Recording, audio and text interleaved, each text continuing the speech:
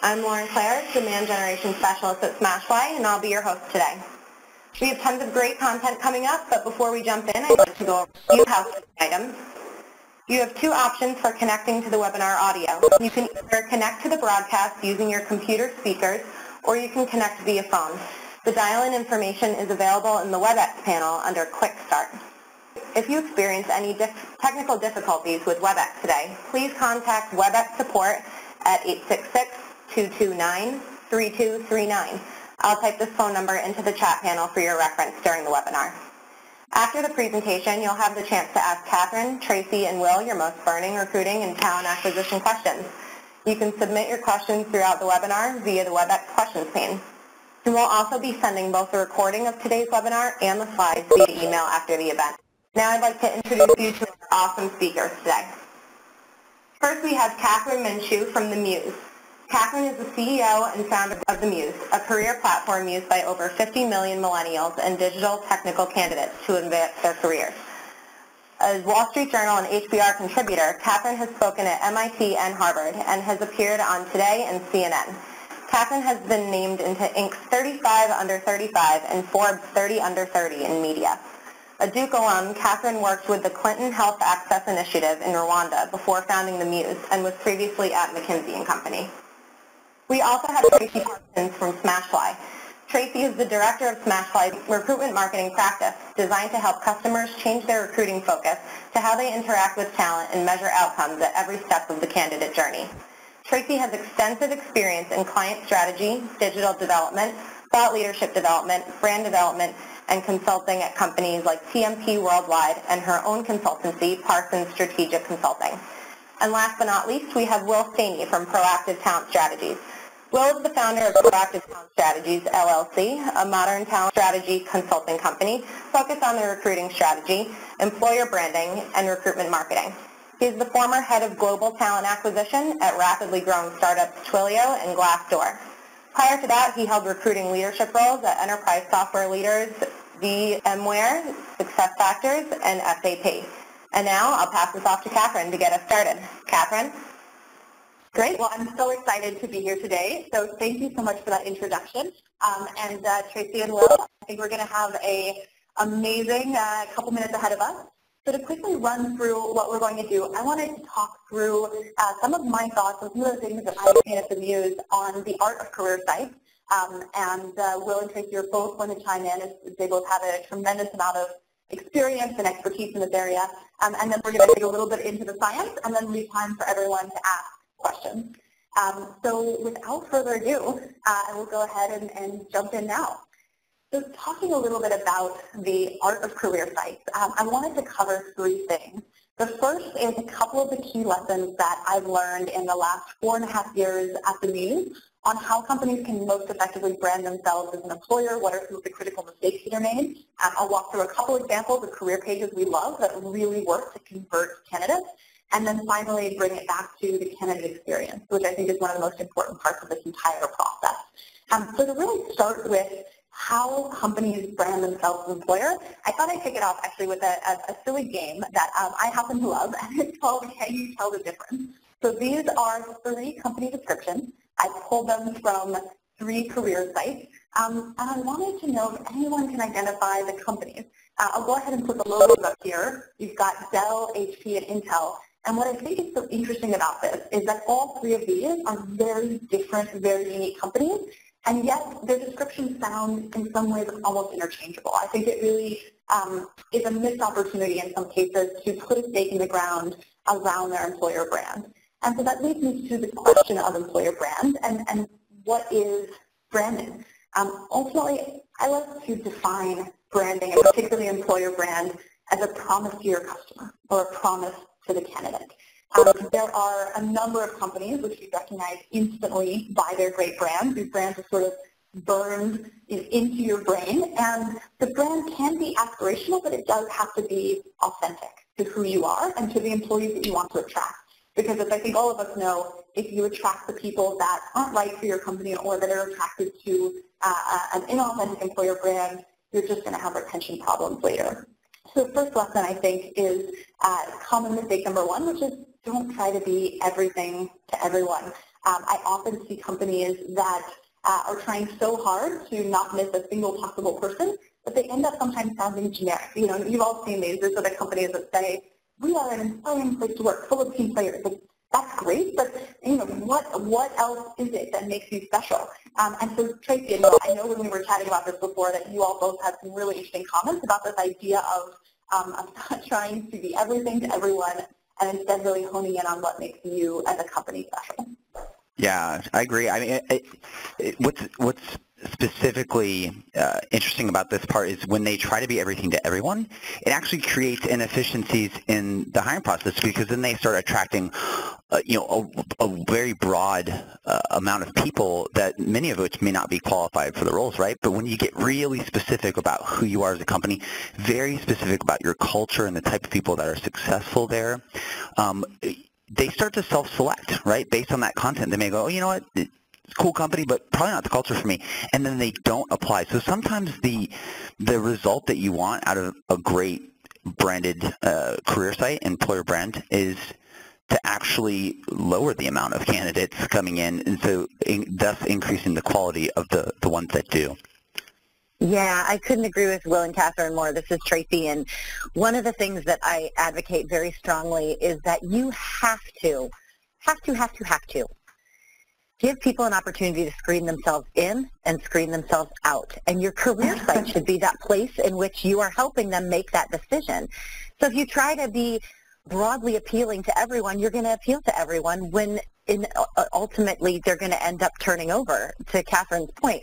You know, giving people the power to understand this is the right organization for me versus this isn't the right organization for me really elevates your employer brand because you're being authentic, you're being honest, and you're telling them the real story of what it's going to take. I mean, we're asking people to invest a tremendous amount of their time in your company and in your company's mission. Um, you want to make sure it's the right investment that they're making. Absolutely. And I think that, um, you know, it's interesting because a lot of people think about an employer brand as just coming from one channel just coming from a career page. But in reality, I believe there's so many more elements of employer branding, which is both so many more opportunities to attract the right people and turn away people that aren't going to be a right fit, um, but also it, is a lot of things to think about. And so on the slide here, I've got a couple examples. Um, obviously, if you are a business that has an existing consumer or B2B brand, that brand is going to inform your employer brand in ways both potentially good and bad. Um, the first time you reach out to a candidate, whether it's sending them an email, whether it's them seeing a job posting, that first touch experience is a big part of how people will think of your employer brand.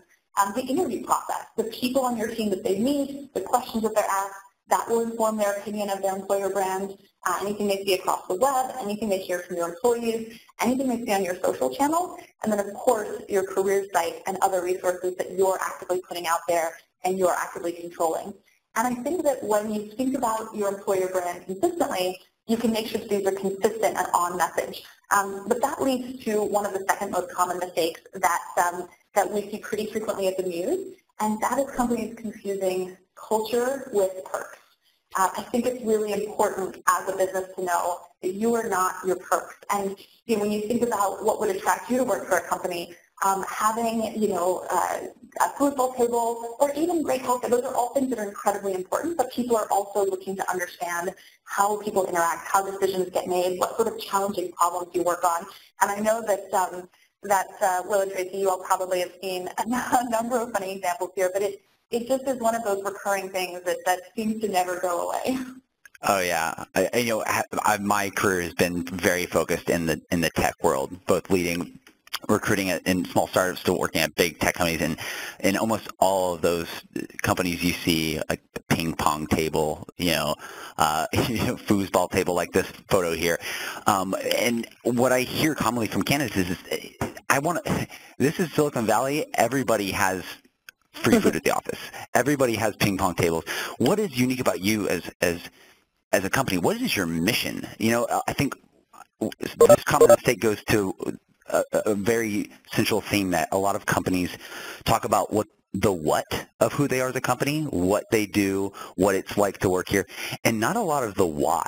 Like, why do people work there? Mm-hmm. Why are they excited mm-hmm. about the, the, what is the mission, the problem you're solving for the world? And when you can represent that in your career site and a multi, a multi-channel marketing strategy, that's when you start to win. Absolutely. Yeah, I mean, it's and it's not, and you have to respect the fact that I mean, like Smashfly, we have a lot of remote employees, and despite the fact that I have a pinball machine in my house, doesn't make my house the great place to work.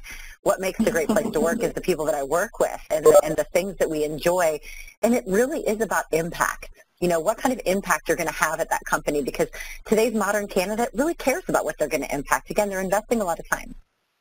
Absolutely. And I think that that's something that, um, you know, it, it can be difficult sometimes to infuse um, all of your outreach with this sense of impact, purpose, of challenging work. But um, one term that I found very helpful that rolls with all of these things is the idea of an EVP, or an employee value proposition. It's your specific unique set of offerings, values, associations that would help someone understand why you, why this job, why this company. Um, and I think that it's, it's, something that is really powerful, and the more you clearly define your EVP, the, the more effectively you're going to be able to almost send out a sonar call, attracting the right people to your brand, and, and as Will, you said before, sometimes turning away those people that probably wouldn't be a good fit. And I think the heart of this, in many cases, comes down to your career page and your ability to really tell your story there. So going into a few examples of career sites, because this is obviously the first chance you have to really uh, get in front of a lot of candidates, I wanted to start by um, an example of a company that many people are familiar with here, and that's Google. Now, Google could highlight all sorts of perks on their career page. They could talk about, you know, their gourmet meals. They could talk about massages. In fact, I once had an executive from uh, another company come to me and say, oh, we can't compete with Google. They have a slide if you think a slide is why people are choosing Google over your company, in some cases I think you've already lost. There's so many other elements on which companies can compete for talent, and I think it really is, um, I think it really says something that Google puts front and center, this idea of doing cool things that matter. Uh, that's their EVP, their employee value proposition. They really focus on impact and meaningful work because it's all about um, the, the, the change that their employees are able to see in the world. Um, to give you an example of a site that I think has missed opportunity, um, it would be Vice. And Vice is a fascinating brand because they are all about targeting and reaching millennials. Uh, they have um, quite a following among a very young visual digital demographic. And yet when it comes to their career page, there's such a missed opportunity here. If you zoom in on the section, why work for Vice? You'll see things like uh, global youth media company, industry leader, non-traditional work environment, be part of an award-winning team, um, those things are great. They're very positive, but they don't differentiate Vice from so many other businesses. And I find it fascinating that there's not a single photo or video or story of an employee on this page. Um, and I think that that's really a, a missed opportunity. Um, and so kind of walking through a couple of, um, of brands that do well, and actually really, Tracey, if you want to jump in at any point, I know uh, feel free to, to chime in here as well. There's just a almost so many um, things to be said for. Yeah, for, I, no, I agree. I, I think it, it's it's it's show not tell. Uh, they're not going to read bullet points on a website, right? Show them. Maybe that's a, a great video talking about about your culture, um, pictures of real actual employees, not stock photos. Um, definitely a show, not tell. Yeah, and the only reason that, the only reason they're going to read it is if it's interesting. And when you look at the text here, it's not interesting. Anybody can hang their hat on this. To what you were saying at the beginning of your talk, Kathryn, it's you know you have to be differentiated and talk about what's in it for them. Exactly. So a few examples that we pulled together as a group that we thought could be really interesting. Um, Kickstarter, they have uh, a website that's, that's really focused around values and not buzzwords. They kind of put front and center the social impact element of their mission. They talk in the text about how creativity unites them. They use phrases like, we obsess over helping creators that again are really going to resonate with a certain portion of candidates um, and may not resonate with others, and that's all right. Um, Discovery, uh, Discovery Communications, with the Discovery Channel, they have a very, very visual career site. They have videos that tell a story. They take you inside parts of their business um, and make sure you really can kind of see elements of it, not just hear. And then uh, Spotify, I think, uh, they do a great job putting some of their employees front and center as the face of the brand. Uh, they interview people about, you know, how did you get to Spotify? What are you doing? They actually, because they're a music company, they include some of their employees' favorite songs. And this is something that I think is, is we've seen over and over again on the Muse is that when you put your, your frontline employees, your managers, the people that are in the trenches doing the work and make them the face and the evangelist of your brand, you get some of the most authentic content. Um, and that really goes down to this last element. So it's great to communicate your values, great to use visuals, not just text, and highlight your employees. But I think all of that, the most important thing is making sure that you're authentic and that you're core to who you are and that you communicate that to a candidate when they're in that early phase of just learning about you and deciding whether to fill out your application, deciding to go through possibly hours of, of, of interviews and dig in deeper, and then again potentially deciding to spend two, three, five, ten years of their life working at your company. Yeah, that's great. I just want to comment on, on, on the use of employees in this content and how important that is because, and it's multifaceted. It doesn't always, uh, having employees get involved and telling them uh, is actually at the same time that you're doing employer branding, you're also doing employee engagement. In fact, you can start mm-hmm. Projects like this when you're creating your EVP, when you're creating content for the career site. Start them as employee engagement campaigns of getting the employees excited around the culture, and then the byproduct of that is great employer branding content. And so these things weave together really well when you're starting to build out a strategy for your career site. Well, never lose sight of the fact that people believe people, they don't believe brands. And so the best, you're right. So the best thing that you can, I think it was like 80% of people don't believe brands, but they believe people. And I, I'm pulling that out of the thin air, but I can dig it up if needed. It's, it's, it's true. Um, candidates want to know from other humans. They want to know from other people what it's like to work there and what difference they've made um, at the company and what difference the company is making for them. They always believe people, but they very rarely believe brands. And the great thing about employee value propositions is it's about the people. Um, so leverage the people. They're they're there because they're and they're your greatest advocates. To Will's point, that is an opportunity of amplifying that message, which we could never do. Like the companies that are worried about, you know, how could we ever beat Google? You beat Google by having an amplified message with a great army of employee ambassadors and advocates. Yeah, i your, your employees are what make you unique because you may have mm-hmm. a product that you have a lot of competitors for that product in the space, right? right. And that's fine. But what's going to differentiate you the most from your competitors is that they don't have a Tracey Parsons like Smashfly has. Yeah, or you know, it, they're not Muse because they don't have Kathryn, right? Like that, your people are what differentiate you the most. Yeah, and I think um, you know it's interesting. I think uh, Catherine Eder had asked a question just now in the in the chat about when it comes to show and tell, how can you effectively show impact and meaningful work?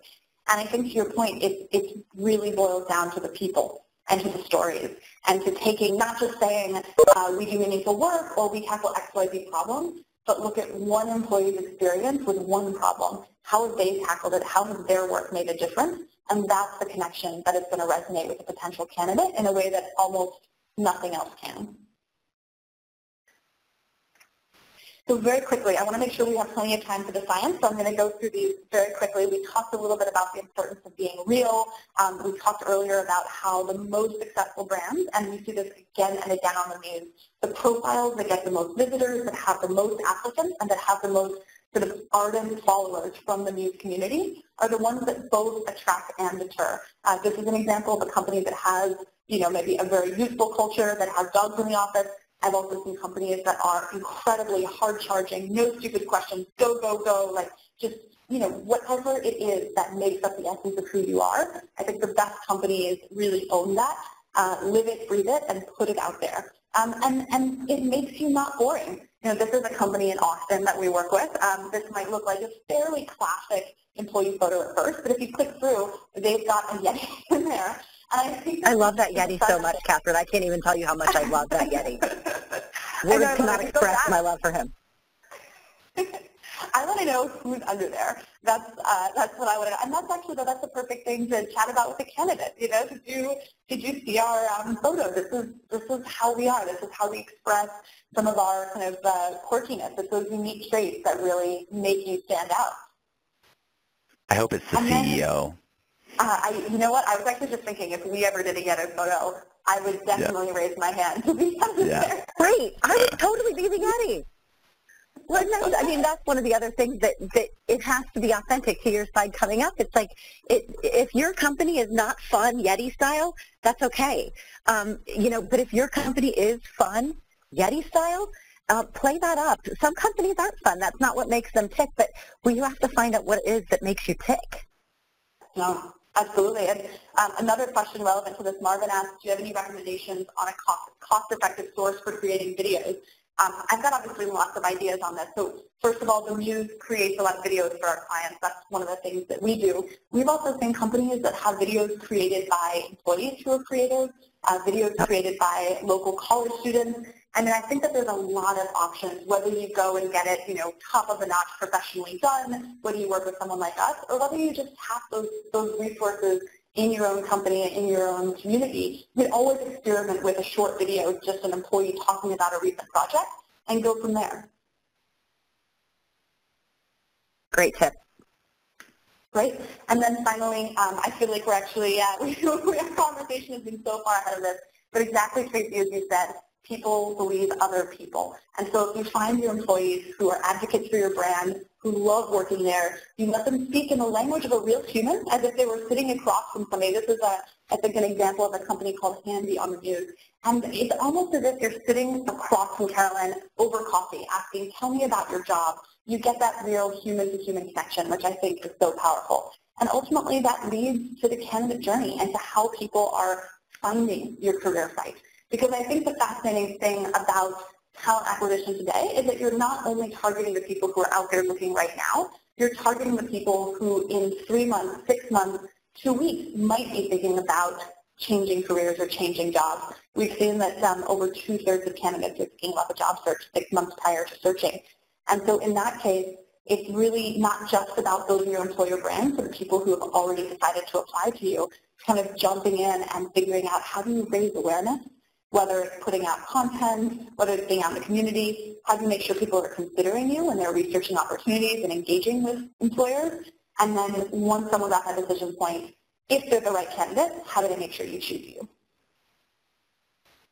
And there's nothing wrong with getting people's attention early and getting them into your pipeline because when we talk about some of the some of the measurements and metrics that we that we're going to be looking at um, in the science piece, there's pipelining is the future. That's where we want our candidates to be because the, to Kathryn's point, they're not ready to jump necessarily right now.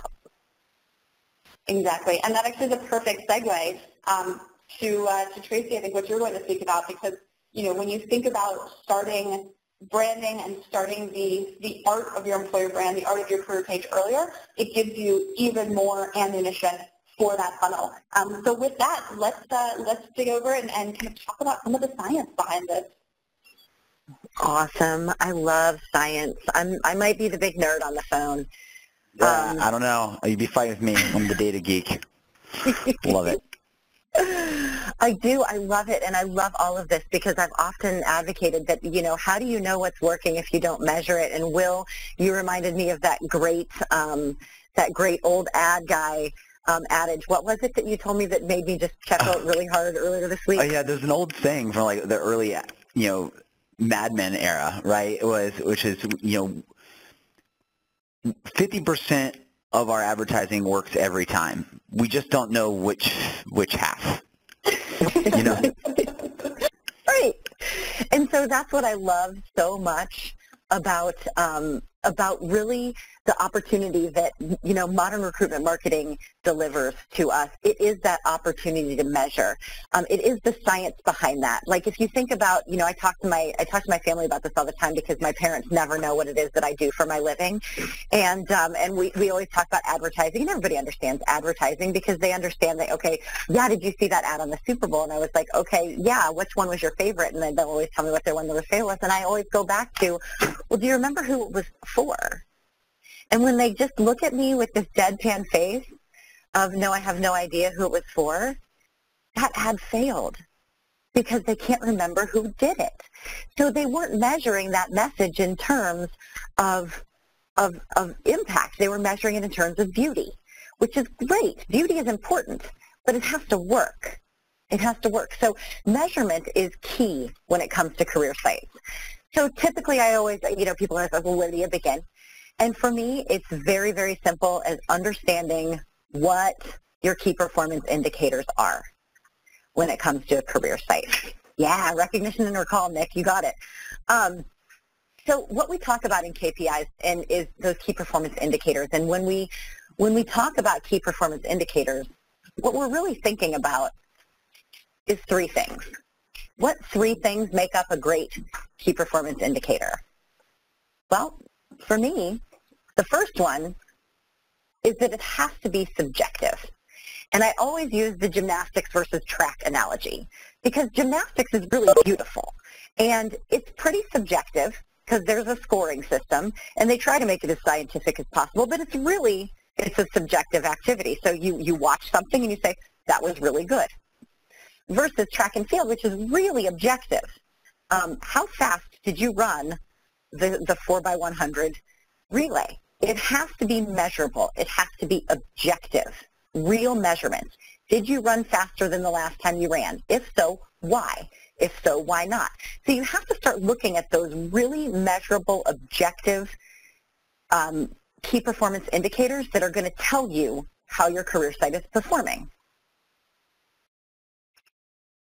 Any any comments, Will and Kathryn, on, on the objective versus subjective? No, I agree. I, I think when, when, especially if you're you're trying to improve your career site, like knowing the kind of content that's resonating, that's actually yeah.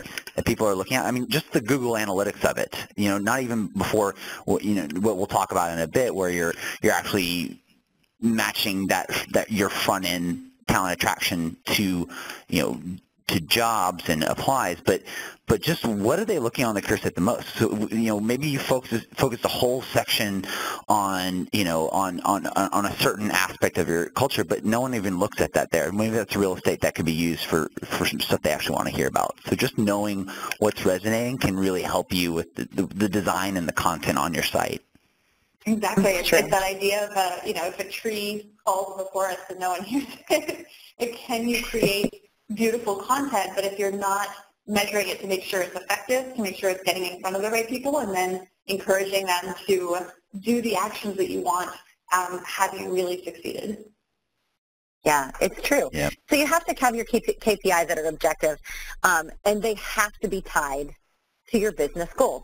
So a lot of times I will sit with clients and we'll talk about, okay, what are your key performance indicators? And my favorite example that I always give is they, they talk about engagement. And I'm always like, okay, well, so tell me a little bit more about engagement. And they're like, well, did people look at our stuff? I'm like, okay.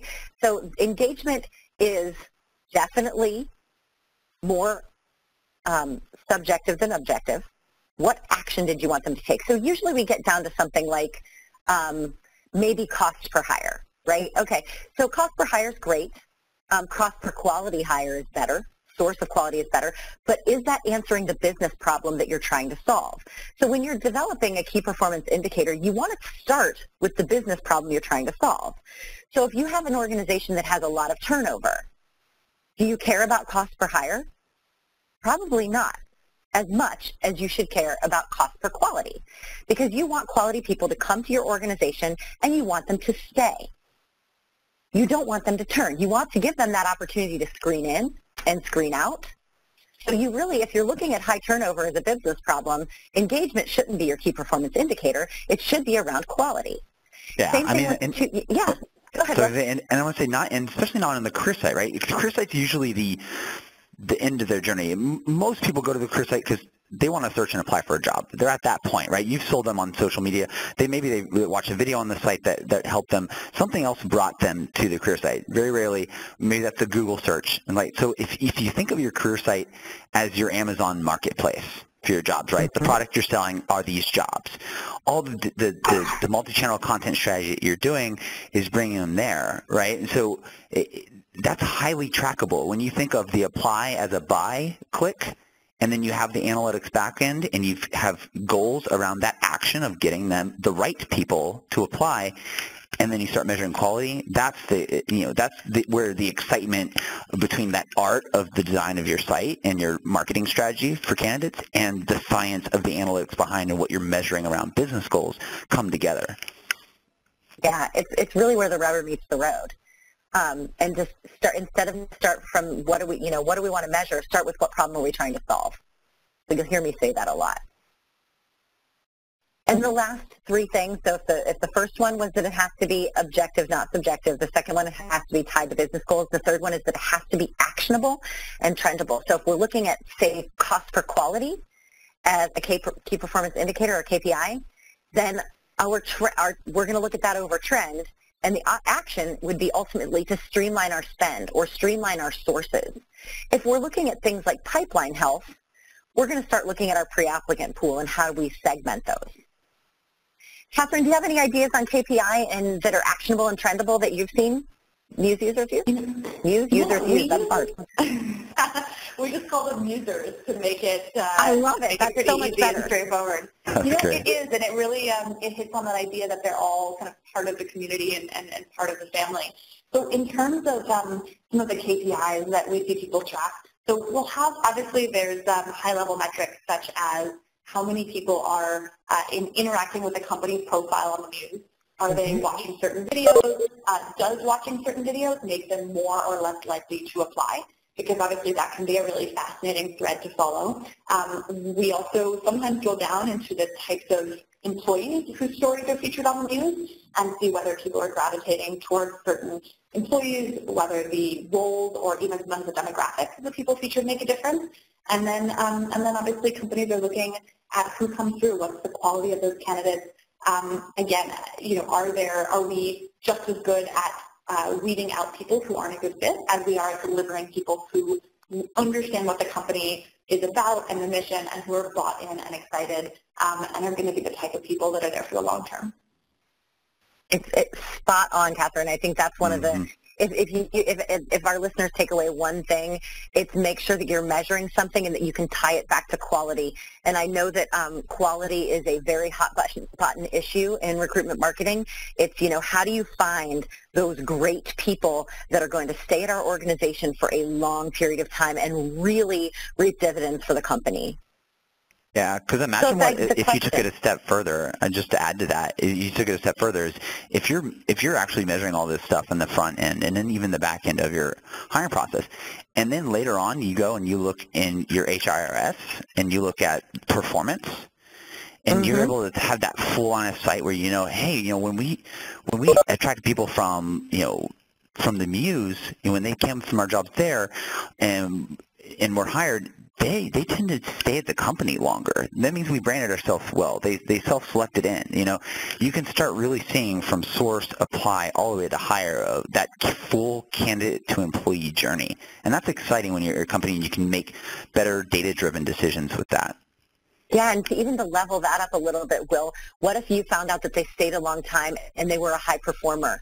That was constant that were constantly driving innovation in your company exactly. and you could go back and look at those sources and look at those um, interactions that they had on your career site and say okay we need to dial this up and we need to dial this down. Yep. Maybe that's part of the 90 day check-in you know yeah, on a new yeah hire. absolutely. Yep. Yep so let's talk a little bit about what we should be measuring, right? So if we've, we've got those KPIs that are that are actionable, trendable. That's my that's my new word of the day. I invented that today, trendable, and um, and tied to business goals. So what should you be measuring in a great career site? Um, the one thing, and now I'm going to put on my Smashfly hat because in addition to um, being in charge of the consulting practice at Smashfly, I also run the employer brand at Smashfly. So these are the sort of things that we're tracking on any given month. And really, to Kathryn, she was teasing it, you know, we look at our funnel. Um, we look at our funnel. We want to look at the universe, you know, the universe of people. Who, who out there could we be talking to? Um, and that, that universe of people is, is really in that awareness stage. Um, how can we make everybody aware of opportunities at our company or your company or whatever company you're trying to recruit for? Um, then it kind of goes down to another level, um, and you've, they've heard of you now. They're going to come visit your website or visit you on Glassdoor or any of those interactions that they may have with you. That's, that's when they're visiting you is in that consideration stage. Um, ultimately, we want to start generating leads from that consideration stage, doing a great job of screening people in and screening people out. And then we want to ultimately get to applicants. And then selection and hire make a lot of sense. And then I have a lot of customers who are looking to us to talk about what's at the other end of that funnel in terms of advocacy. So that makes Mhm. a lot of that, that makes a lot of sense to me. So really, you have to start measuring the funnel. Measure the funnel. Measure your site visitors. Measure how many uh, people might have interacted with your ads or interacted with your brand outside of your site. Who's visiting your site? Did we convert them into a lead, and did we convert them into an applicant? So those are some of the And- things that we look at when it comes to the funnel. And Tracey, I think the reason the funnel is also so important is that it's much more, uh, it, represents much more realistically the journey of a lot of candidates today versus a purely linear path. For example, it's really common for us to hear from a company that they hired somebody who originally heard about them on the Muse three months before. But that person wasn't ready yet to make a move. They were still in the awareness and maybe the consideration phase. But a little bit of time passed, and then either they decided they were ready to make a move, maybe they their their boss uh, left the company, something changed, and suddenly they're thinking back to those companies that they've had positive Mhm. impressions and positive interactions with. And that's why I think a company, exactly like you were saying with this funnel, that is thinking about candidates all the way through can really get a leg up on people who are only solely focused on applications. Yeah, and I think we have uh, somebody, uh, some folks asking this pretty important question, I think, which is how how do they do this? You know, how how, how do they go? Like right now, they're not measuring anything. How can they get to the point where they can measure? Well, one of the things, okay, so obviously Google Analytics, but we're, we're fortunate at Smashfly that our, our dog food is delicious. So we can, we can measure those leads and those applicants because we have a recruitment marketing platform. Um, that's something that we're using. And if you, um, you know, if that's something that's interesting to you, we should definitely be, you know, having a conversation with you offline about how to execute a lot of that tracking in, inside your recruitment marketing platform. If you're not, we should have a secondary conversation of how you can leverage um, some of this in Google Analytics. Um, but really, it's the the how is around a recruitment marketing platform. Um, somebody, I think Hannity had a question about uh, using images that are not only necessarily in the office. Um, I'll I'll answer that, and I would love Will and um, Kathryn to, to chime in. Yeah. I we're fine with that. Um, we have some non-traditional images on our career site, but it's got to be as long as it's got to be aligned with your brand and it's an authentic moment. So we have some images that are going up on our career site in the next couple weeks of our company meeting in Florida, where we're all on the beach and, and we're all having a moment. Um, we're going to have more images of some of our uh, home office workers. So we're obviously okay with that. Will and Kathryn, do you have any feedback on that? Yeah, I think if it's like a company event, like you did an offsite and and it, you know something you did, that makes sense. And then uh, even the outside of work, where let's say some em- uh, employees are getting together outside of work because they're all friends and they hang out. Maybe that's Instagram. You know, you know, there, there's a lot of other channels to show a lot of this dynamic real-time content. It doesn't have to all be housed on the career site, and I think that's a really important thing to remember as we're talking about the art and science of a career site. Is that the career site doesn't have to be where all your content lives. Like I said, it's that marketplace where you're taken. They're, they should really see your EVP, understand who you are, and everywhere there should be a call to apply to a job or join a talent Yeah. community, right? But all that content doesn't have to live on the career site. It, it should live where your candidates are hanging out. Maybe they're on, on Google. Maybe they're on Yeah. social media.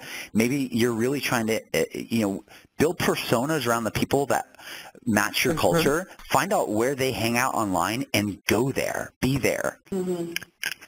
And Yeah, I think to, to, to add on to, to add on to the question, you know, ultimately, one way I like to phrase this this question of um, of how to think about the brand and the assets and the photos, et cetera, is ultimately many of the candidates looking at your Instagram, your career page, any of your um, channels or assets online, is asking themselves, what would my life be like if I join this company?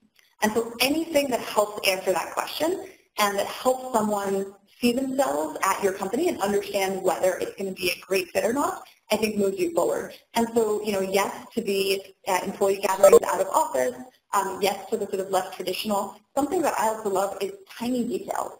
So I think when people think about uh, images of office, they often think, you know, standing in the middle of the office, taking a big picture.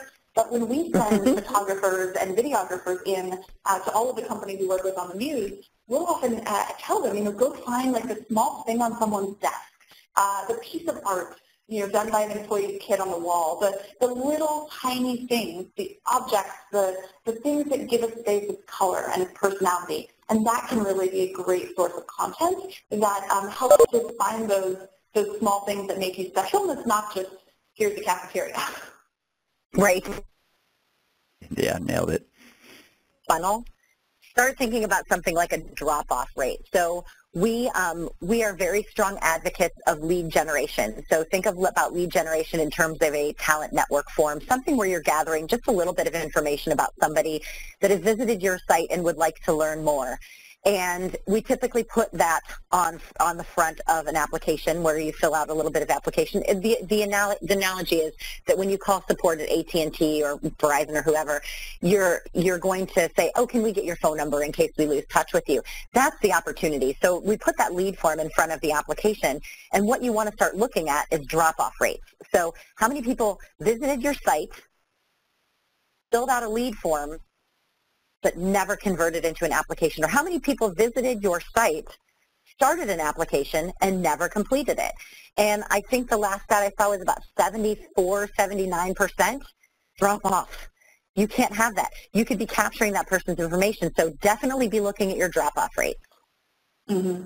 And I'll, I'll add uh, quickly to that that we often see it's the most qualified people in some cases who drop off because they're the ones that have other options we were working yes. with um, a large insurance company whose name I, I won't say right now, but they found at one point that 92% of engineering and technical candidates were dropping off because they had a 40-minute applicant tracking system that just wasn't very um, attuned to the modern age, let's say, and they were losing all of these candidates that, um, you know, using a platform like Smashfly or, or mm-hmm. having a better process could have saved.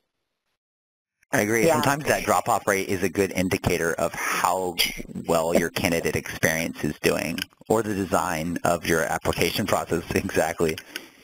Yes, it's something that we look at and and you know you'll find to Kathryn's point and Will's point, the harder your application is to complete, the more your drop-off rates are going to be. And I I encourage everybody on the phone to secret shop your applicant applications. Um, go out and fill it. How frustrated are you in the experience? Um, so that's something to look at drop-off rates in terms of, you know, what's happening with your applicant pool. How can you capture um, that? And the third um, key performance indicator that we look at is source of quality. And source of quality is, is new, um, er, and what we've been looking at is if you take all of your media sources and you look at what qualified candidates they're they're sending you. And qualified candidates are going to be determined by your recruiters in the applicant tracking system, but you've got to start looking at that source against the quality and determining what percent they're driving that's quality because this is a great conversation to have with your media partners. If you go to your media partner and say, yeah, you delivered me 2,500 candidates that were qualified, but that was only 2% of all the candidates that you drove me meaning that there were tens of thousands of people who you drove to my ATS and my talent network that didn't make our cut. Like we, this is not a this is not what we need. We don't need to drink from the fire hose. We need great people. Yeah, so social quality this. is a great key performance indicator. It's like getting the power back. I remember when I first implemented my, my first recruitment marketing platform like seven years ago. And they were pretty archaic back then and didn't always have this uh, deep of, of quality analytics, but when I would get on the phone with the vendors and I knew more about how well their products were working for me than they did, mm-hmm. it talk about being able to negotiate. I, I would say, okay, I'll do a three month test with you guys, and I'll measure, and and yep. if it if it works, we'll buy more. And it you get more of that power back uh, to those vendors, and really show them that and engage quality because sometimes sometimes just how many hires you get from a source isn't always an indicator of how well that source is working for you because sometimes if your talent community grew or you had a lot of people that went through the interview process and were silver medalists that you may hire later on, sometimes that is, is, is very valuable because you're wanting to build that internal database so that later on you don't have to spend big money on a job board because you already have this database of great leads, right? So there's a lot of ways to look at it. When you can measure quality, it, it really gives you the power back. Yeah, and lastly, my favorite metric um, for career sites in general is time to find versus time to fill. And I, I love time to fill. Time to fill is very important. It's a very important um, recruiting and HR metric. Understanding how long it took for an, a requisition to be opened to the time that we, we got a we got a uh, talent in that seat. That is a great recruiting metric. A recruitment marketing metric is time to find. How long did it take from the moment that requisition was opened up to getting the hiring manager a slate of candidates? This talks to the health of your pipeline, it talks to the health of your recruitment marketing, and it talks to the efficiency of your career site. Time to find is my holy grail. All right. We have a lot of questions, so I'm going to blow through optimizing if that's okay with Will and Kathryn. I want to save time. Go for it. Yep. All right. So how do you optimize, right? Well, Will kind of alluded to this. Your career site is a transaction.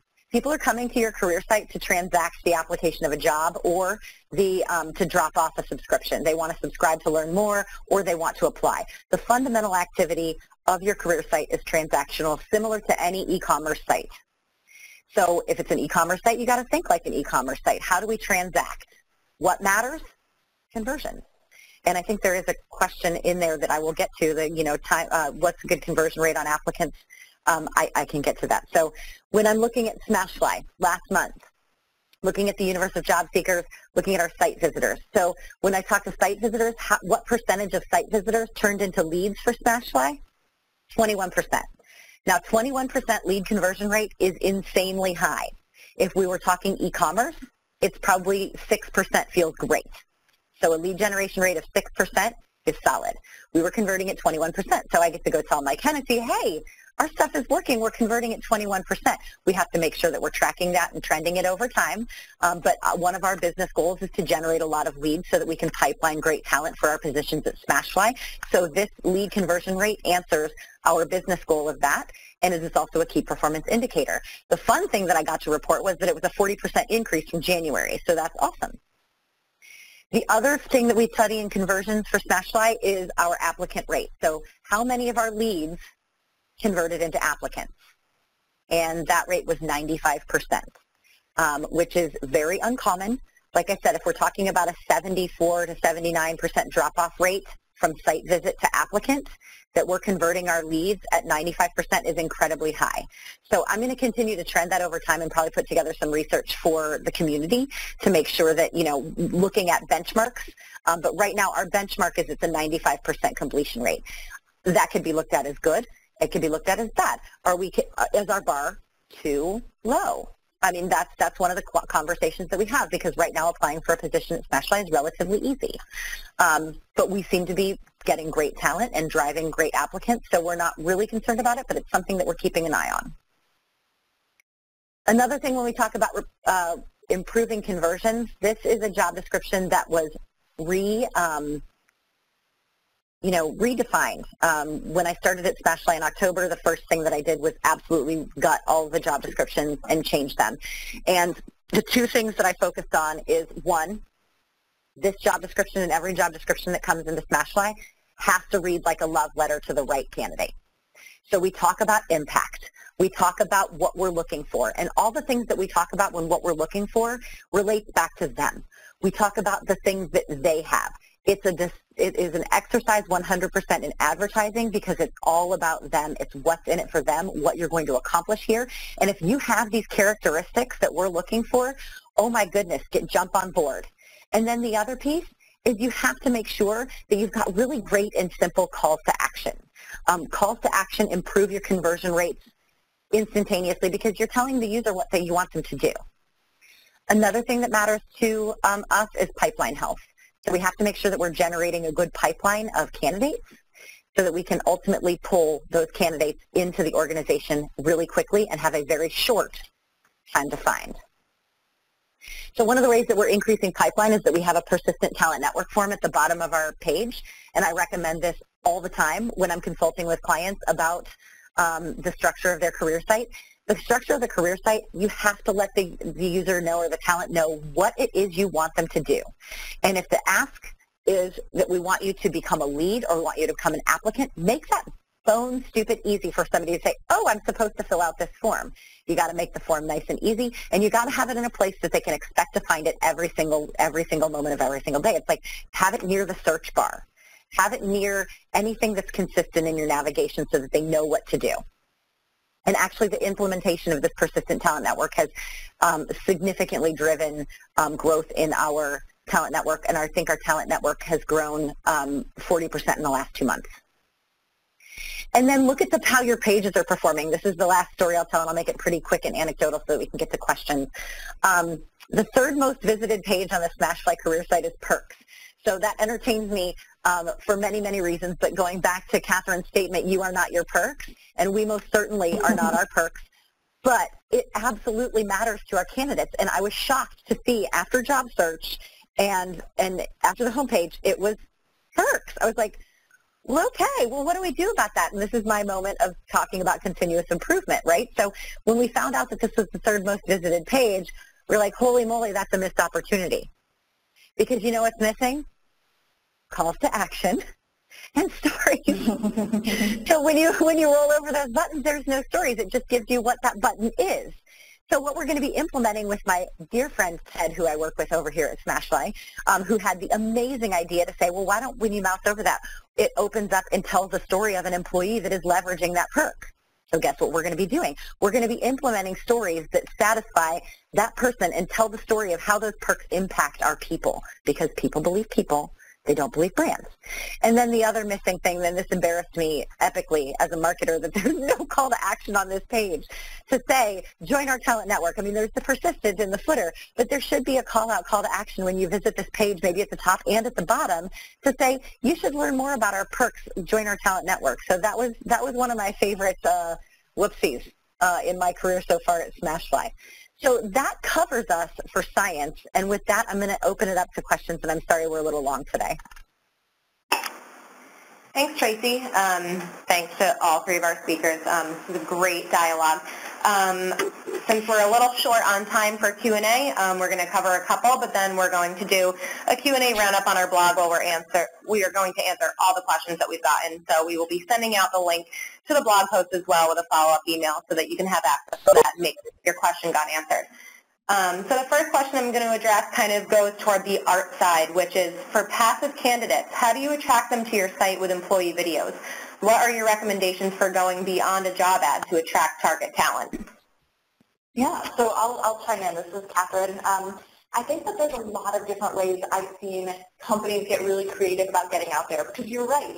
By the time somebody's already on your career page, they're at the very least in the consideration phase, which means that there's so many people out there that are maybe not aware of your job, that haven't yet had their interest piqued, so there's a couple different ways I've seen. Um, obviously, there are a number of career and recruitment platforms out there, um, like the Muse, like the big classic, you know, LinkedIn, et cetera, which have populations of people who may not be thinking about your company as a destination yet, which can be a great place to uh, get your, your videos in front of them on another channel. I've seen companies um, do great jobs by contributing content occasionally, so having you, one of your employees, one of your leaders uh, write an article for um, either LinkedIn influencers, uh, for an online publication about something about your culture or the problems you're tackling. Again, that can be a great way to get out in front of, uh, of other channels. And then social media, not only your official social media channels, but your employees' social channels. Each of them is connected to networks that you don't have access to, which can be a great way to encourage them to share content that's been created, to share their stories, um, and to really help uh, spread the word. I can't. I couldn't agree with that more. Employee amplification. That's that's one way. That's a good mm-hmm. way. Great. Thanks. Um, another question that we received says, a lot of people talk about being authentic and real. How do you actually start that if your employer brand isn't doing this already, and how do you shift to that authenticity? Talk to your employees. Uh, I, I, mean, sitting down, uh, for me, the greatest content that you can you can get, and I'm I'm literally at GoDaddy's Sunnyvale HQ right now doing a video shoot where we're really we put a camera in front of a candidate or in front of an employee, and we we have a conversation with them. We ask them to ask them talk about from their unique perspective. I think when you really speak to your employees about, and get to the heart of like what makes them come to, to work every day, you start getting really great, authentic content. I, I even prep them before they go on camera, before I talk to them, like, just be real with me. Like, don't don't give me a canned answer mm-hmm. that you, we want to hear. Really, like, tell me about your best friend at work.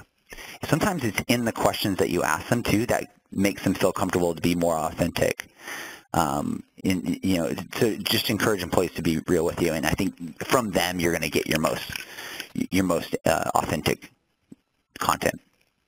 Yeah, another way that I've seen, um, so, you know, talking to your employees, having them describe it, you can also have other people who don't work with your company look at your careers page, look at your social channels and say, if you had to choose five adjectives, um, what do you think employees here like?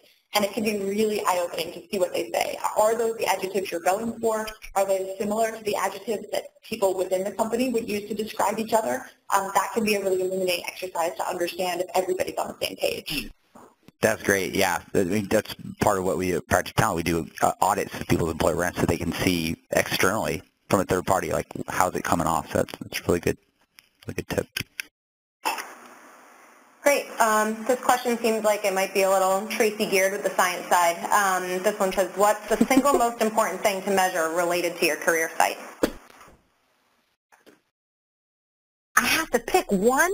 All right, fine. Um, conversion. Conversion is the number one thing that you should be measuring. You made me pick. I had to pick. Great, thanks.